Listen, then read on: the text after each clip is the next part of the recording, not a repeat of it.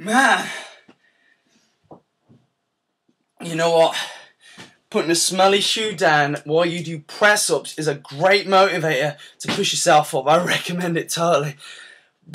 But they need a wash big time. Today's tip is to get active, get moving, uh, every single opportunity. So, like there, you know, I'm, I'm, I'm doing work, I'm punching away emails, recording this video right now, doing you know all my, all my paperwork, but I've just blasted out 50 press ups right there. So today is to take every single opportunity just to exercise, and you're good. Okay, so if you can do that, you burn off stacks of calorie. You're also going to energize yourself because you get that blood pumping around. Okay, so when you get back to your you know your desk or whatever you're doing, uh, you know on a day-to-day -day basis, you're going to be pumped. You're going to be feeling you know those endorphins going around your body, and that is the natural high. So every opportunity you get exercise. Okay, move it.